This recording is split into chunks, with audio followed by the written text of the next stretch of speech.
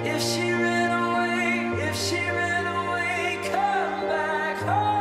You're too tall for us today. You're cut. Just